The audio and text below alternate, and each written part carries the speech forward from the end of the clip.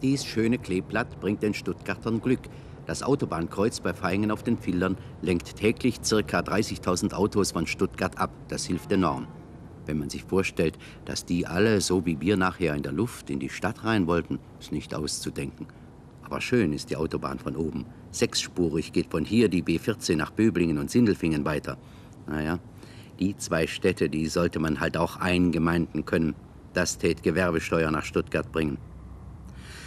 Ach, das alles hat ja früher auch nicht zu Stuttgart gehört, was da so links und rechts von der Autobahn liegt. Diese ganzen Siedlungen, wo die Filderbauern noch vor fünf Jahren ihre Äpfel und ihr Kraut versteigerten und nachher reich wurden, als sie ihre Grundstücke verkauften. Und nun sehen Sie mal da, links. Da ist noch ein Stück frei. Das sind die Honigwiesen und hier entspringt Stuttgarts Strom, der Nesenbach. Aber man sieht ihn nicht. Sonst brauchten wir ihm nur nachzufliegen. Naja, so folgen wir halt dann der B-14, was in der Luft lang nicht so gefährlich ist wie unten. Das da ist Vaihingen. Vaihingen auf den Fildern. Oh, das hat früher auch nicht zu Stuttgart gehört. 40.000 Einwohner hat diese Eingemeindung den Stuttgartern in neuerer Zeit zugeführt. Damals, vor 30, 40 Jahren, da waren es halt ein paar Häuser an der Straße und ein paar in den Gärten. Nur Gerstensaft hat man damals schon hier oben gemacht. Ob die wohl schon das Volksfestbier herrichten? Ja, und da vorne, da kommt jetzt gleich das Zentrum von Vaihingen, der Schillerplatz. Und von hier könnten wir jetzt eigentlich dem Nesenbach direkt nachfliegen, wenn man ihn nicht so versteckte oder wie ein anonymer Schwabe dichtete, wenig bleibt vom Nesenbache, weil er unterirdisch geht. Da geht's hinunter nach Kaltental. Und da ist es auch kalt, vor allem im Winter.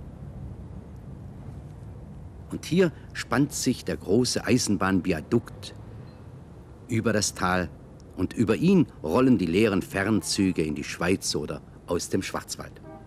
Ach, wenn die Leute wüssten, was für ein Genuss es ist, über diese Strecke mit dem Zug aus Stuttgart heraus oder hineinzufahren.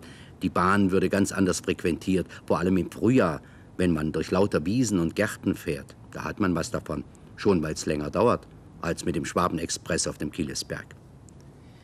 Diese Straße da hinunter mag der Alexander von Humboldt damals nach Stuttgart hineingefahren sein, mit der Kutsche natürlich, und jenen Ausspruch getan haben, der uns heute noch eingeht wie Honigseim. Dies Stuttgart zählt zu den schönsten sieben Städten der Welt. Ha, das ist was. Hier draußen, da kann man noch den schwäbischen Traum vom Häusle träumen. Denn in Stuttgart da können sich das die einheimischen Individualisten nicht mehr leisten. Und hier in Kaltental hat man ja auch schon seine Preise.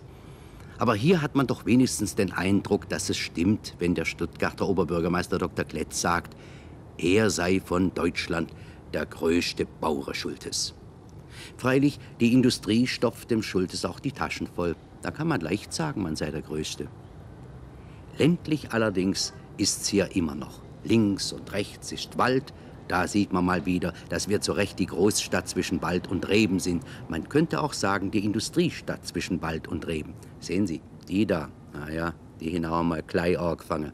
Und heute ein kleines Weltunternehmen, bloß weil sie wissen, was Frauen wünschen. Aber sonst hat sich hier draußen eigentlich nicht sehr viel verändert. Da kommt jetzt dann gleich das Straßenbahnerdepot von Häslach.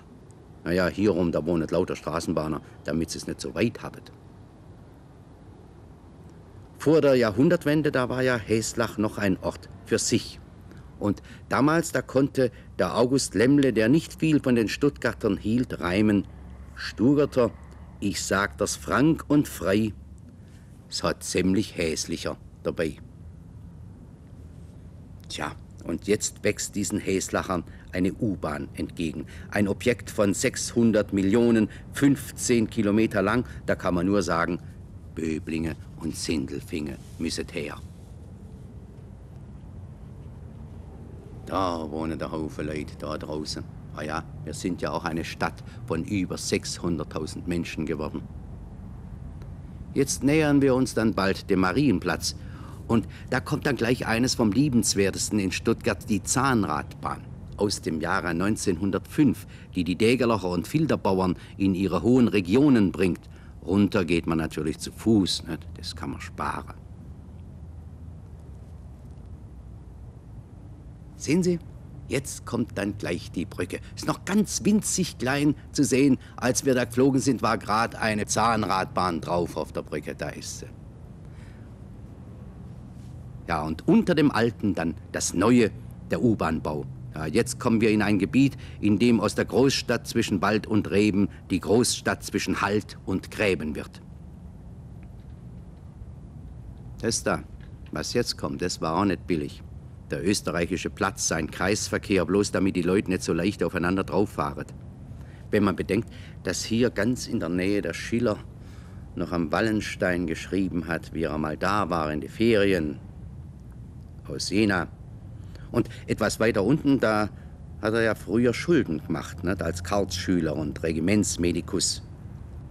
Das war da, wo die größten Löcher sind, beim Ochsenwirt in der Hauptstädter Straße, in der Nähe vom Bräuninger. Da kann man auch wieder sagen, der hat auch gleich angefangen. Der Großvater hat noch selber Hosenträger verkauft. Und heute, ha, das da, das ist der Marktplatz, das Herz von Stuttgart. Oh, da ist auch manches anders als damals. Vor dem Krieg war das hier bis aufs Rathaus eine einzige mittelalterliche Idylle. Und jetzt ist's ums Rathaus rum auch nicht mehr schön.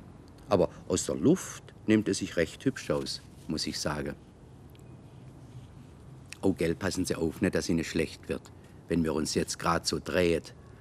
Hinüber zum Charlotteplatz mit der ominösen B14 und mit einer Untertunnelung die sich schon recht weltstädtisch ausnimmt. Da meint man Wunder was. Und da geht's rüber zum alten Schloss. Es gibt Stuttgarter, die haben zweimal das Abbrennen und Wiederaufbauen des alten Schlosses erlebt. Ah ja, 1931 ist abbrennt und dann im Krieg. Aber es hat sich gelohnt, dass man es wieder aufgebaut hat.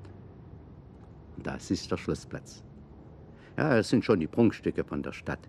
Der Königsbau, mit griechischen Säulen und den Geschäften dahinter. Dann daneben gleich der kleine Schlossplatz, der als Zankapfel hochgespielt wurde und heute der beliebteste Scharmuziertreff ist, eine City in der City.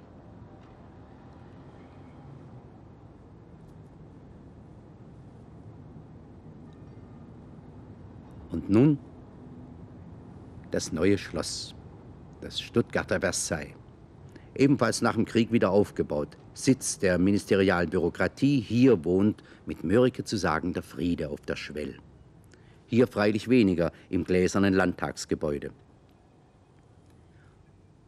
Und da, ein bisschen weiter drüber, da ist der einst so geschmähte und jetzt so geliebte 5 Exe in den Anlagen.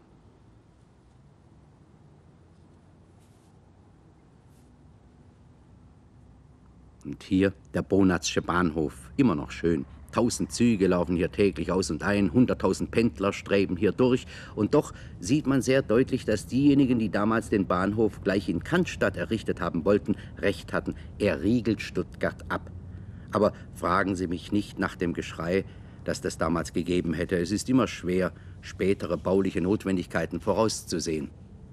Es ist schon ein Glück, dass man die Anlagen beibehielt, das Grün zwischen den Häusern, Schienen, Fernstraßen, die Parks zwischen Industrieanlagen, die Gärten und Weinberge zwischen den Bürohäusern.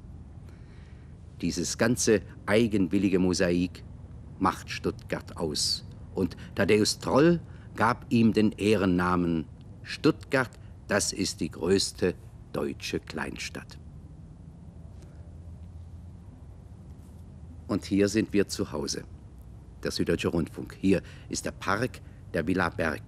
Na, haben wir uns auch nicht gerade das Schlechteste rausgesucht. Und hier sind unsere Studios. Das da vorne, die alte Villa Berg, dann hier links das Hörspielstudio, das Musikstudio, dann die so notwendige Kantine und hier rechts die Fernsehstudios. Und dann geht's gleich rüber in das alte Berg, hinunter dem Neckar zu und zu den Mineralbädern 18 Millionen Liter Mineralwasser sprudeln da täglich heraus. Und was in München die Wiesen, das ist in Stuttgart der Vasen, hier berauscht man sich jährlich am Volksfest. Und hier im Stadion, wenn der VfB gewinnt. Aber nur dann. Tja, wenn die Grafen von Württemberg diese Landschaft mit dem Hafen gesehen hätten, da hätten sie sicher gestaunt. Auf dem Roten Berg im Hintergrund hatten sie ja ihre Stammburg und von hier sahen sie oft hinaus ins Land. Nach Stuttgart zogen sie erst, als einer von ihnen eine Tochter des Markgrafen von Baden heiratete, denen das Gestüt Stutengarten gehörte. So entstand aus der ersten baden-württembergischen Ehe Stuttgart. Da sieht man erst, was aus dem Südweststaat noch alles werden kann.